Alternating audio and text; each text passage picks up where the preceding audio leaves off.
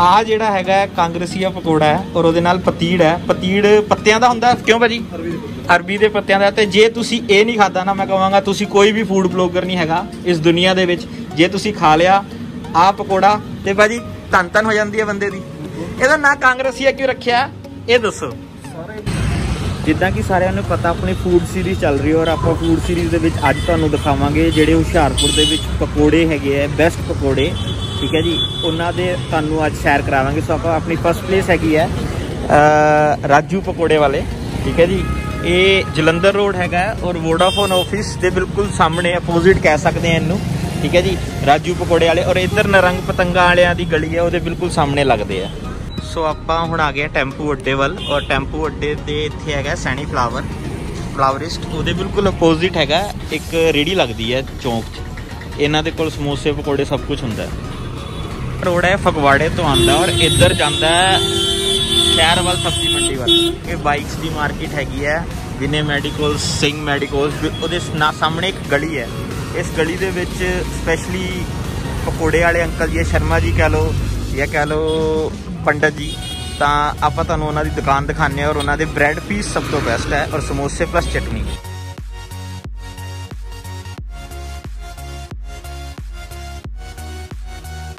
ਆਹ ਦੁਕਾਨ ਹੈ ਜੀ ਸ਼ਮ- ਸ਼ਰਮਾ ਰਿਫਰੈਸ਼ਮੈਂਟ ਇਹ ਬੰਦ ਹੈ ਹਜੇ ਠੀਕ ਹੈ ਜੀ ਮੇਬੀ ਸ਼ਾਮ ਨੂੰ ਖੋਲਦੇ ਆ ਲੋਕਡਾਊਨ ਕਰਕੇ ਥੋੜੇ ਟਾਈਮਿੰਗ ਦੇ ਹਿਸਾਬ ਨਾਲ। ਸੋ ਇਹਨਾਂ ਦੀ ਜਿਹੜੀ ਚਟਨੀ ਹੈ ਨਾ ਔਰ ਬ੍ਰੈਡ ਪੀਸ ਹੈ ਦੀ ਬੈਸਟ ਸੋ ਆਪਾਂ ਹੈਗੇ ਆ ਹੁਣ ਇਹ ਜਿਹੜਾ ਰੋਡ ਹੈਗਾ ਹੈ, ਇਹ ਵਾਲਾ ਇਸ ਦਾ ਸਿੰਘ ਸਭਾ ਗੁਰਦੁਆਰੇ ਨੂੰ ਜਾਂਦਾ ਔਰ ਇੱਧਰ ਹੈਗੀ ਆ ਰੋਨੀ ਹਲਵਾਈ ਦੀ ਦੁਕਾਨ।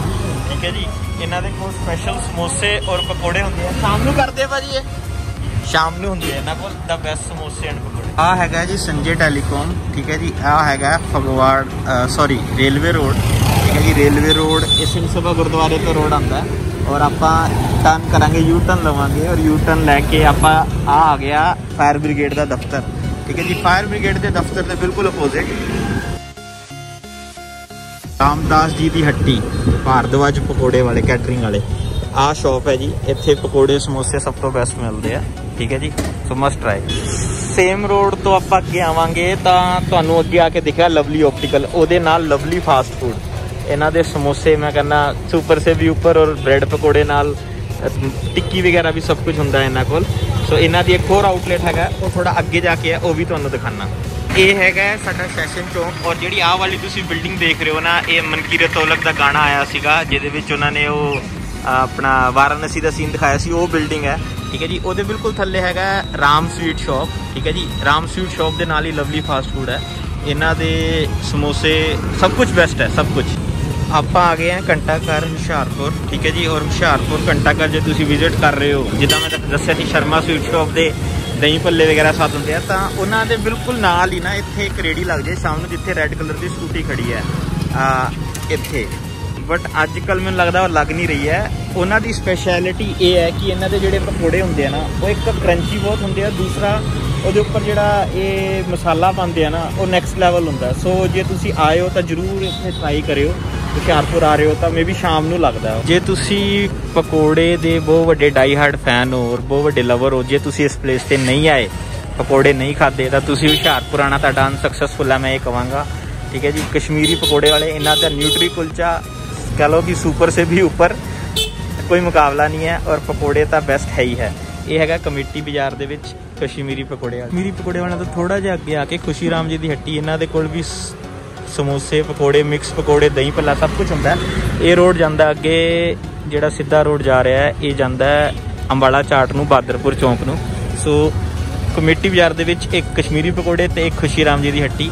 तो ਆਪਾਂ ਖੜੇ ਆ ਸਰਕਾਰੀ ਐਲੀਮੈਂਟਰੀ ਸਕੂਲ, ਠੀਕ ਹੈ ਜੀ, ਨਈ ਆਬਾਦੀ ਹੁਸ਼ਿਆਰਪੁਰ ਔਰ ਇੱਧਰ ਸਾਹਮਣੇ ਹੈਗਾ ਡਰਾਮਾ ਸਟੇਜ ਔਰ ਡਰਾਮਾ ਸਟੇਜ ਤੋਂ ਆਪਾਂ ਜੀ ਇਹ ਵਾਲਾ ਰੋਡ ਕਹੀਏ ਤਾਂ ਇਹ ਜਾਂਦਾ ਹੈ ਪੰਡਤਾਂ ਦੀ ਹੱਟੀ ਦੇ ਕੋਲ ਦੀ। ਇੱਥੇ ਸਪੈਸ਼ਲ ਹੈਗੇ ਆ, ਇੱਕ ਤਾਂ ਰਿਖੀ ਰਾਮ ਤੇ ਕਾਲੀਦਾਸ ਜੀ ਦੇ ਕਚੋਰੀ ਸਮੋਸੇ ਸਵੇਰੇ ਹੀ ਲੱਗ ਜਾਂਦੇ ਆ ਔਰ ਸ਼ਾਮ ਤੱਕ ਹੁੰਦੇ ਆ। ਆਪਾਂ ਹੈਗੇ ਆ ਛੱਤਾ ਬਾਜ਼ਾਰ ਔਰ ਇੱਥੇ ਮੋਠ ਕਚੋਰੀ।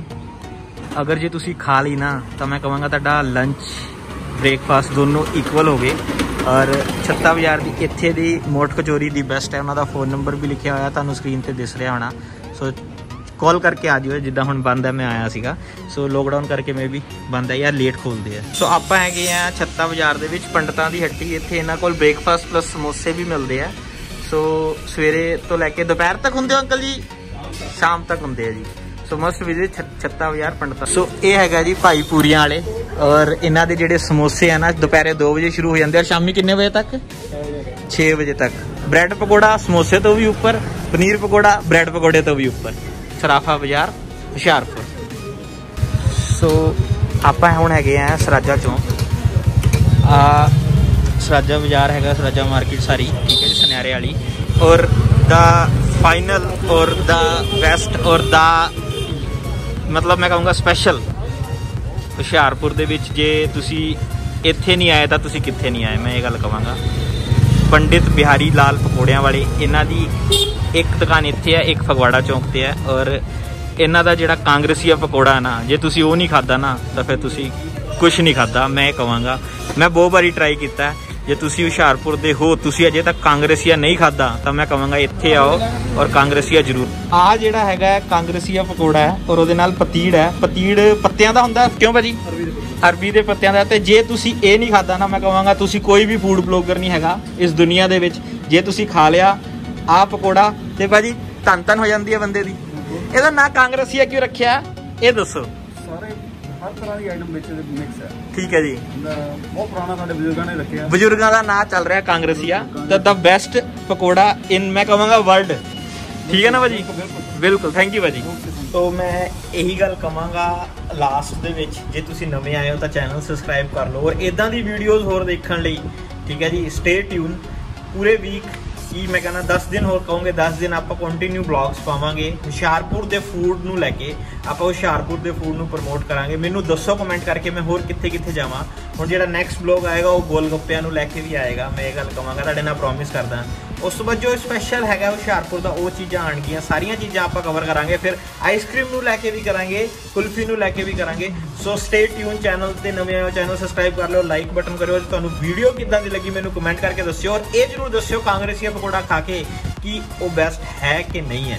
ਸੋ ਜਿਹੜੇ ਵੀ ਆਊਟਸਾਈਡਰ ਹੈਗੇ ਆ ਹੁਸ਼ਿਆਰਪੁਰ ਆਉਂਦੇ ਆ ਤਾਂ ਇਸ ਪਲੇਸਿਸ ਤੇ ਜਰੂਰ ਜਾਓ। ਔਰ ਜਿਹੜੇ ਵੀ ਯੂਟਿਊਬਰਸ ਪਲਾਨ ਕਰ ਰਹੇ ਆ ਹੁਸ਼ਿਆਰਪੁਰ ਆਉਣ ਦਾ, ਜੇ ਤੁਸੀਂ ਕਾਂਗਰਸੀਆ ਨਹੀਂ ਖਾਦਾ ਤਾਂ ਮੈਂ ਸੱਚੀ ਕਹਿੰਦਾ, ਤੁਸੀਂ ਕੁਝ ਨਹੀਂ ਖਾਦਾ ਥੈਂਕ ਯੂ ਵੈਰੀ ਮਚ